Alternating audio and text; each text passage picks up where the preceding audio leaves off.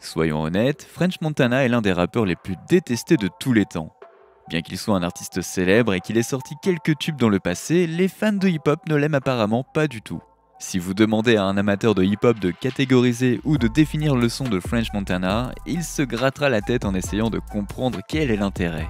Alors, qu'a fait Montana pour les rendre aussi furieux? Découvrons-le. Salut à tous et bienvenue sur Vraie Histoire de Star, la chaîne YouTube qui dévoile la face cachée des célébrités. Aujourd'hui, nous plongeons dans l'univers de French Montana. Alors, si vous êtes nouveau sur la chaîne, n'oubliez pas de vous abonner et d'activer la cloche de notification pour ne manquer aucune de nos prochaines vidéos. Montana, également connu sous le nom de Young French, s'est fait une place dans l'industrie musicale comme peu d'autres au cours de la dernière décennie, se targuant d'une collaboration avec AMG de Rick Ross et Bad Boy Records d'Odidi après une série de mésaventures avec Akon. Cependant, malgré ses 3 albums et ses 25 mixtapes, la place de Montana dans le jeu semble être le fruit d'une collaboration plutôt que de ses propres mérites. Sur Instagram, Montana a posté une photo posant avec Kendrick Lamar, Jay-Z et Nas en inscrivant la légende suivante les 4 rois du game.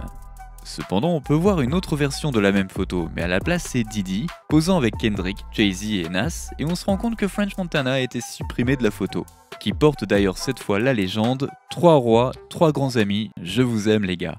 Ce qui veut tout dire. Pour ajouter à cela, Montana pense que les gens n'ont pas de mémoire. Il pense avoir un catalogue de hits et de tubes tellement énorme, malgré qu'il nous est difficile de connaître plus d'un ou deux morceaux de lui. Il a posté un tweet disant On va faire un jeu. Vous devez citer 5 chansons de French Montana. Évidemment, cela n'a pas très bien marché sur les réseaux sociaux, ce qui a conduit Montana à répondre en listant 14 de ses titres en solo. L'un d'entre eux s'appelle Water, ce qui est facile à retenir car nous buvons de l'eau tous les jours. Cependant, le tweet de French Montana a prouvé que la personne qui était capable de citer 5 morceaux de French Montana, c'était French Montana lui-même. En 2020, le rappeur French Montana a eu l'audace d'affirmer qu'il avait plus de succès que Kendrick Lamar. Dans une interview accordée récemment à Complex, Montana a déclaré qu'il pouvait rivaliser sans problème avec Kendrick Lamar sur la scène d'un festival et qu'il avait bien plus de succès que lui. Lorsqu'on lui a demandé s'il y avait quelqu'un à qui il aimerait se mesurer, il a répondu ceci.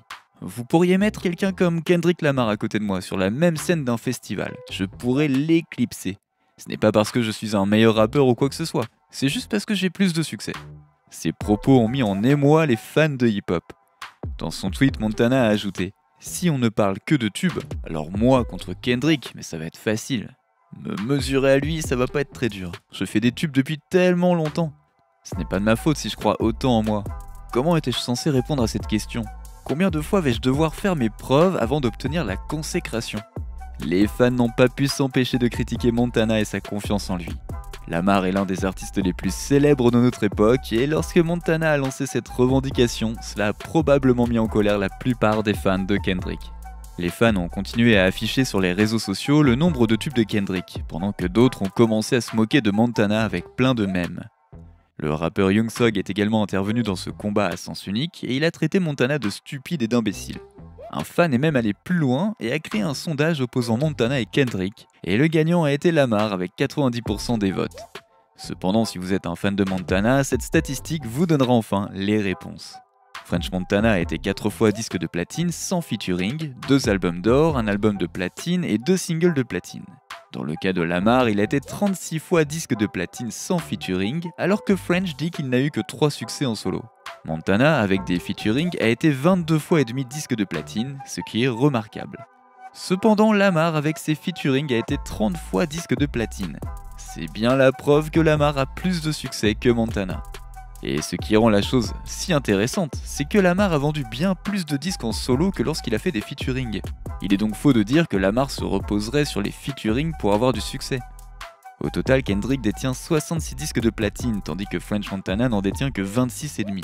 Et si on parle de tube, comme l'a dit Montana, alors nous pouvons parler du Billboard Hot 100. Dans ce classement, aucune des chansons de French n'a atteint la première place. Il a eu deux chansons qui ont atteint le top 10 et il a eu 17 chansons qui ont atteint la liste, dont 16 avec des featuring, ce qui est déjà impressionnant. Kendrick, quant à lui, a deux chansons en première place, 8 chansons qui se sont approchées du top 100 et 50 chansons qui ont atteint le top 100. Montana a également affirmé que Kanye avait fait un peu trop de featuring lorsqu'il a tweeté ceci. Mais il fait quoi Kanye? Il vient de sortir un album avec 26 chansons, dont 24 avec des featuring.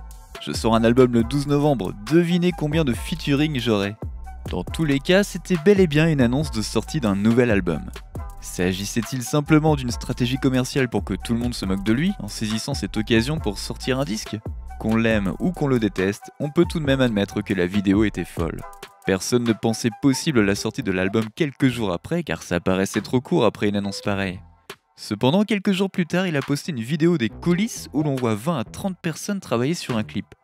Dans la vidéo, on peut voir le monteur travailler sur le clip en temps réel, et si on regarde bien, il s'agit surtout d'un fond vert. Le gros du travail a donc porté sur le montage. Cela signifie que le clip aurait été fait en 72 heures ou en 24 heures, ce qui est surprenant. Il a posté la vidéo On My Rap Sheet le lendemain du tweet. Les scènes étaient bien les mêmes, ce qui signifie qu'il a dû écrire, enregistrer et réserver un grand studio de cinéma. Il a continué à poster des tweets en disant à quel point les gens étaient amnésiques et comme par hasard, il a sorti un album intitulé They Got Amnesia. Cela a donné lieu à des critiques disant qu'il devrait peut-être travailler dans le marketing et la production plutôt que dans le rap. On ne peut pas nier que Montana ait l'une des meilleures oreilles pour repérer les nouveaux talents, mais s'il avait opté pour la production exécutive au lieu de rapper, il serait au niveau de Khalid et de Kenny West aujourd'hui. Cependant, ce qui sépare Khalid et Kenny de Montana, c'est que lorsque Khalid fait un tube, il lance des flows à la Jack Khalid, tandis que Kenny, lui, fait des tubes avec des paroles qui restent en tête.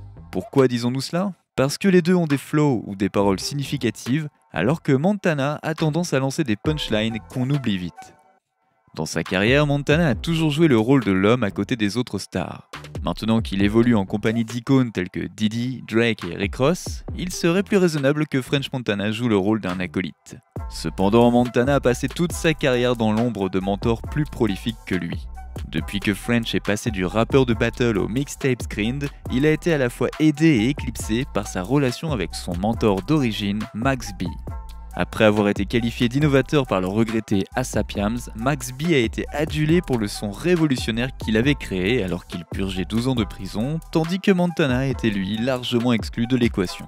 Dans l'interview qu'il a donnée depuis sa prison, Max a clairement indiqué que sa priorité était toujours d'élargir le son du hip-hop. Voici ce qu'il déclare. Tout ce que je mets dans ce projet, c'est ce que je reçois en retour. Si tu fais des économies dans ce que tu produis, alors tu ne seras jamais apprécié. Moi, c'est simple, je me donne à fond dans tout ce que je fais. Je me consacre à fond dans mes projets, j'étudie à fond, je suis à fond dans le même esprit, c'est simple, je suis à fond dans mon métier. Comme il le dit si bien, aller trop vite et bâcler les choses afin d'essayer d'influencer les bonnes cartes en sa faveur, c'est quelque chose qui s'applique indéniablement à la vision de French dans le rap game. Lorsque Max était en prison, Montana cherchait un nouveau mentor sur lequel se reposer. Il en a trouvé un en Didi et l'idée que le succès de French était lié à sa relation avec celui-ci s'est imposée d'elle-même. Le fait que French se concentre sur la création d'un grand réseau a donné lieu à une approche cynique de la production de tubes qui semblait surtout provenir d'une usine à la chaîne plutôt que d'un projet passionné. Voici ce qu'il a déclaré à Billboard en 2011. Tout le monde est un réseau. Les fans des uns deviennent les fans des autres. Les fans des autres achètent vos disques et c'est comme ça que ça marche. Vous voyez, DJ Khaled, Lil Wayne, Rick Ross, Nicki Minaj, Drake, tout le monde fait des featuring sur la musique de tout le monde. Et ils sont tous ensemble comme une grande équipe, un grand réseau. C'est comme ça que j'ai construit le mien. Waka, Ross, Cockboys, etc. J'essaie de créer un grand réseau. Et c'est comme ça qu'on réussit. Considérant le hip-hop plus comme un investissement que comme une forme d'art, l'obsession de French pour la création de réseaux a porté ses fruits, puisque sa carrière a démarré et que ses chansons se sont hissées dans le Billboard 100. Cependant, au fil du temps, il apparaît clairement qu'il n'a jamais réussi à se hisser seul au hit parade et qu'il a toujours fait appel à autant de grands noms qu'il le pouvait. Montana s'en tient en code de conduite de l'industrie dans la mesure du possible, créant ainsi une situation où ses échecs et ses succès au cours des dix dernières années sont le fruit de son engagement à jouer le jeu et à suivre la tendance. Grâce à tout ça, Montana est resté dans l'industrie du rap. Mais ça ne veut pas dire que c'est à lui qu'on pense en premier lorsqu'il faut citer des artistes du milieu hip-hop. Des fans ont mis une théorie en avant selon laquelle son manque d'engagement à devenir une valeur sûre faisait que French était incapable de réussir de manière permanente, même si l'héritage de ses plus grands succès est bien présent. Parmi les titres dignes d'intérêt du catalogue de French, en raison de la fusion avec le hip-hop et le dancehall, le morceau Unforgettable avec un featuring de Swiley a été un succès mondial incontournable à la radio et dans les clubs. Mais lorsqu'il s'agit de choisir le producteur de la chanson, French était loin d'être le premier choix. En fait, le producteur One Mind a révélé que ça s'était fait à la dernière minute. Malgré le fait que la chanson ne leur ait jamais été destinée, le mérite revient à Montana et Swaley d'avoir vu le potentiel là où Drake ne l'avait pas vu. Lors d'une interview avec Charlemagne the God, Montana a déclaré que c'était son plus gros album. Il explique Ouais, c'est mon plus grand disque, plus grand que Pop Zat et tous les autres réunis. La raison pour laquelle j'aime ce disque, c'est que personne ne pensait qu'il serait aussi important parce que les gens n'ont pas mon oreille.